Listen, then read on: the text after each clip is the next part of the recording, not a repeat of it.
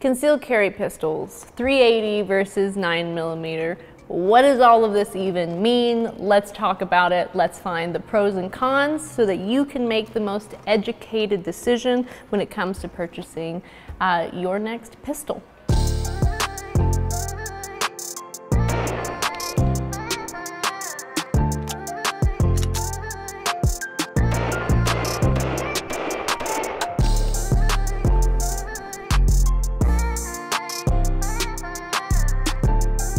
Both of the guns I have before me here are 365 Sig Sauer carry pistols. This is like the flagship, like we got 365s flying out the door. So many people carry them. Now these look and are the exact same size. Look at that. Exact same size, but we now offer it in 9 millimeter and 380. So you're like, what does that even mean? Well, let's talk about it. 9 millimeter and 380. This is the actual bullet size. So we're no longer talking about the gun. The 365, that is the model of these firearms. This one is in 380 caliber, so it shoots a little bit smaller of a bullet than this 365 9 millimeter.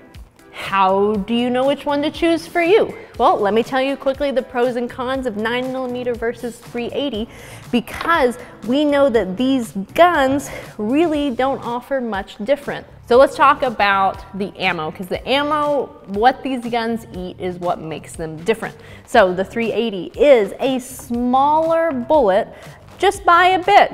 And you're like, okay, what does that mean? Well, we're looking at like 100 feet per second difference in velocity. Velocity is how fast these bullets are actually coming out of the gun. This one's under a 1,000 feet per second and this one's right over a 1,000 feet per second. Okay, there's that fact. Bullet weight, the actual projectile that's flying out of this gun. The nine millimeter, it weighs some more than this one. This is a 90 grain bullet.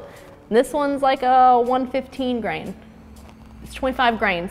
Take that as you will. That's the information bullet wise. There's a lot of research out there. There's a lot of tests that show you the difference in them ballistically. What you gain from this smaller bullet, the loss in the bullet weight, the loss in the velocity from the nine millimeter, what do you gain?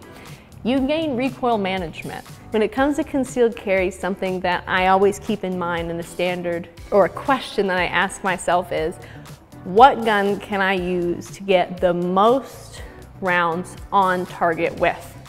Because that seems really important. like I ask myself this question for obviously being a professional competitive shooter, but self-defense seems remarkably valuable to know how many rounds I can put on a target quickly.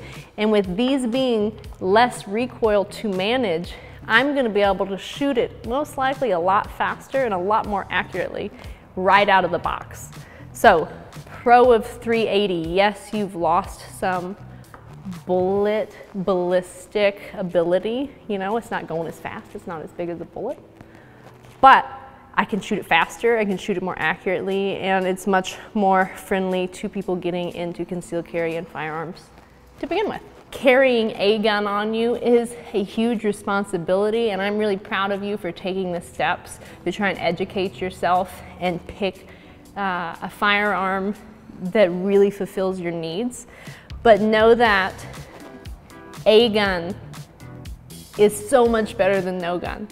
So if nine millimeter is too much for you to handle, you don't feel comfortable and confident shooting it, it's just not where you are physically, maybe it's just, it's just a no, cool.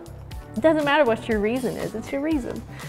380 might be your answer because it can help you feel more comfortable, feel a little bit more confident, not have the gun jump in your hands as much. And it can either be a forever answer, a training answer, can be anything, but it's definitely a solid answer for anyone looking for concealed carry. So it's a little chatty, but hopefully you actually feel like you got something from this and that it will help you make a choice in the future that is really an important one because this is your life and I think it's worth protecting and you obviously know it is. So good luck and hopefully this helps.